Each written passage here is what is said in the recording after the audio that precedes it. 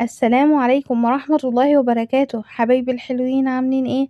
أتمنى إنكم تكونوا بخير. ورجعنا لكم في حلقة جديدة من قصص لونا. قصتنا النهاردة هتكون حوار ما بين سيدنا العباس بن عبد المطلب والنبي صلى الله عليه وسلم. عن سيدنا العباس بن عبد المطلب رضي الله تعالى عنه أنه أحدق النظر إلى النبي صلى الله عليه وسلم فقال هل من حاجة يا عمي؟ قال نعم لما رفعتك حليمة وأنت ابن أربعين يوما رأيتك تخاطب القمر ويخاطبك بلغة لم أفهمها. قال يا عمي قرصني القماط في جانبي الأيمن القماط هو حزام أو قطعة من القماش يلف بها الطفل عند الولادة.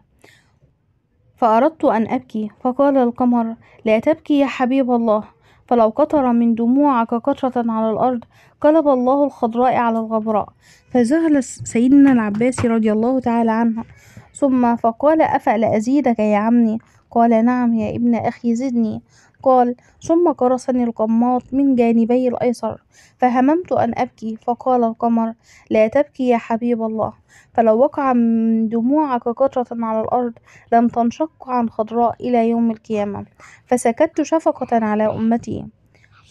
فذهل سيدنا العباس وقال أكن أكنت تعلم ذلك وأنت ابن أربعين يوما؟ قال يا عمي والذي نفسي بيده لقد كنت أسمع صرير القلم على اللوح المحفوظ وأنا في ظلمة الأحشاء. قال أفازيدك يا عمي؟ قال نعم. قال والذي نفسي بيده؟ لقد خلق الله مائة وأربعة وعشرون ألف نبيا. ما من نبي علم أنه نبي حتى بلغ أشده وهو أربعون سنة إلا عيسى عليه السلام. فإنه لما نزل من جوف أمه قال إني عبد الله آتاني الكتاب وجعلني نبيا. وابن أخيك.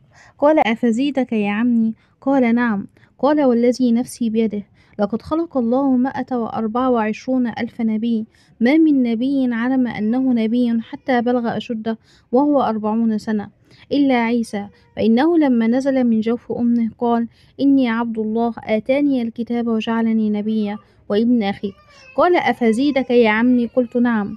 قال لما ولدت يوم الاثنين خلق الله تعالى سبعة جبال في السماوات السبع وملأها ملائكة لا لا يحصيهم إلا الله سبحانه وتعالى يسبحونه ويقدسونه إلى يوم القيامة وجعل ثواب تسبيحهم وتقديسهم.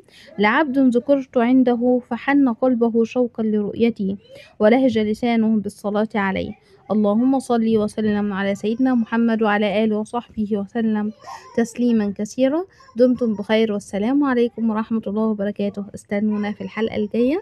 مع السلامة.